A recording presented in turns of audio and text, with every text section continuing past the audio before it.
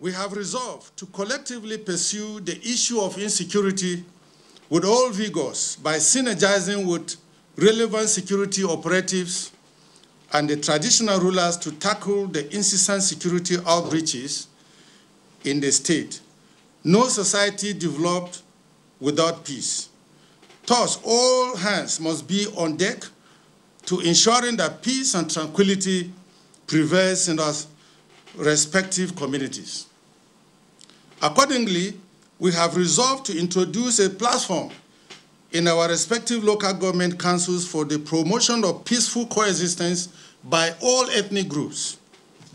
Having bestowed on us the mandate of leading our respective local governments, I, on behalf of my colleagues, wish to unequivocally state that we are equal to the task. His Excellency, the Executive Governor, and the entire people of the state, be rest assured that real de development will in no distant time reach the nook and crannies of the state.